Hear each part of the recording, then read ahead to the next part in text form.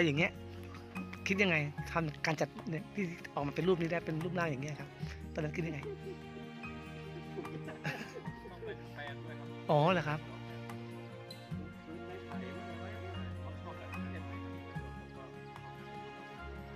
อืม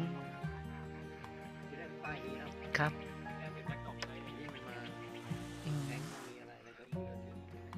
ก็คือผสมผสานกันไปนะ แสดงว่าเรียนมาเกี่ยวกับทางด้านนี้ด้วยป่ะแฟนจบปริญญาโทบริหารครับบริหารการตลาดแล้วพี่อะผมเป็นข้าราชการทหารโอ้เหรอครับ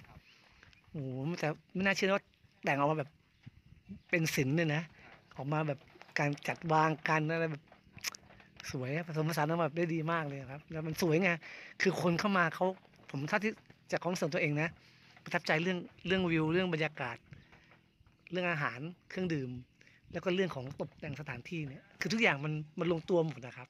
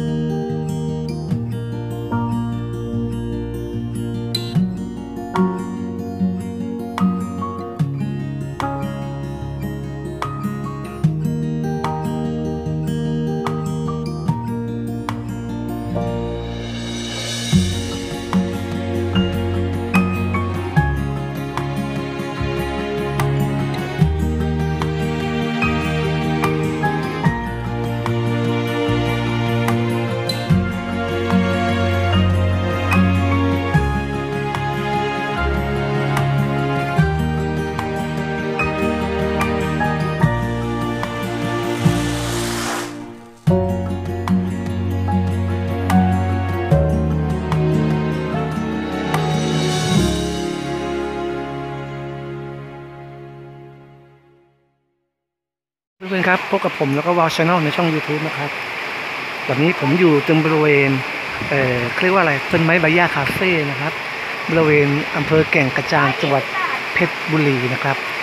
มาถึงตรงนี้ตั้งร่วมชั่วโมงกว่าๆแล้วแหละ แต่ว่าผมก็ไม่ได้ทำคลิปไม่ได้อะไรนะเพราะเอิญว่าช่วงนั้นคนค่อนข้างจะเยอะนะครับวันนี้วันหยุดก็เลยมีคนมาเที่ยวที่นี่กันเยอะมาก ก็เลยมานั่งนั่งแล้วลูกค้าก็ค่อยซาและฝนก็ตกนะครับ คือนั้นมองผมนั่งมองดูฝนตกตั้งแต่ภูเขาลูกข้างหน้านู้นเลยนะครับ เจอฝนข้างหลังเนี่ยไม่ฝนข้างหลังไล่มาเนี่ยแล้วแบบเห็นสภาพเป็นแบบนี้นะครับสวยมากๆนะก็เหมือนที่เขาเคยคนหลายคนเคยมาที่นี่แล้วบอกว่า มันเหมือนคล้ายๆทิวทัศน์ทางภาคเหนือนะครับแต่มันก็จริงนะเหมือนกับเราอยู่บนดอยอะไรสักดอยหนึ่งนะครับ แล้วก็เนี่ยมันมันบอกไม่ถูกมันยังบอกไม่ถูกแต่ว่า ถ้าเพื่อนๆมาเนี่ยจะรู้สึกว่าไม่อยากกลับนะเพราะมันสวยมากๆเลยนะนะครับอบแล้วไม่ได้ขุนเขานะครับ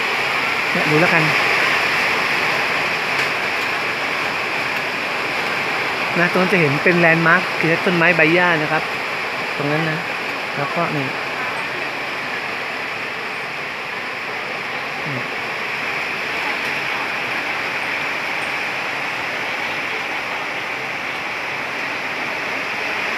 ก็เดินทางมาก็ไม่ไม่ไม่ไม่ยากนะครับ ใช้ Google Map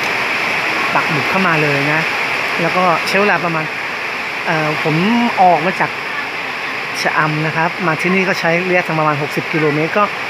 ประมาณ 1 ชั่วโมงนะครับ60กิโลเมตรก็เข้ามาบริเวณเขื่อนแก่งกระจานแหละครับ แต่ว่าแยกออกมาอีกนะ ผ่านตรงแยกตรงวงเวียนแก่งกระจานตรงนั้นนะมาทาง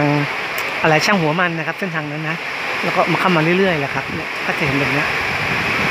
นะครับ ก็โอ้โหบอกไม่ถูกนะสวยนะครับ คนที่ชอบ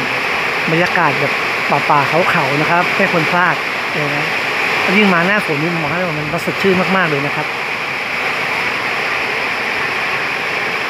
โอเคครับเอามาฝากกันนะครับ อย่าลืมมาเที่ยวไว้ได้นะครับที่นี่นะ